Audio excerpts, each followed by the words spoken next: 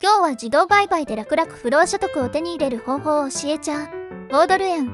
つまり AUDJPY に注目だ。なぜって。それは俺が言うからだ。なんで5ドルと円の組み合わせかってそれはリターンが高いからさ。5ドルって言えば、オーストラリアの気候、ビーチ、サーフィンのイメージだろう。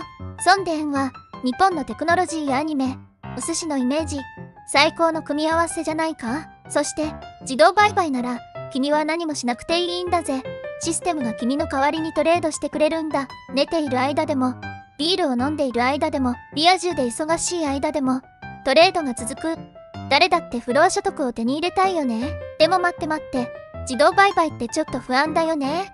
でも大丈夫。君の資産を守るためのストップロス機能もついてるからさ。リスクは最小限に抑えつつ、利益を最大化する。最高のコンボだろう。さあ、5ドル円で不労所得を目指すチャンス。手間いらずの自動売買で、サーフィンに来たい日も、アニメに夢中な日も、堪能しよう。